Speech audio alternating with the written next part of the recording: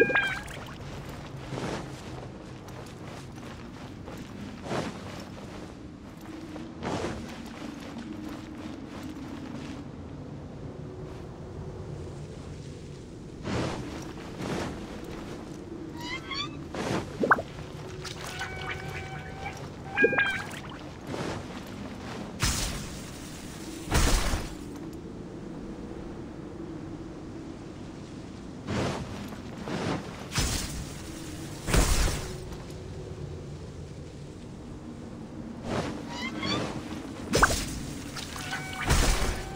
We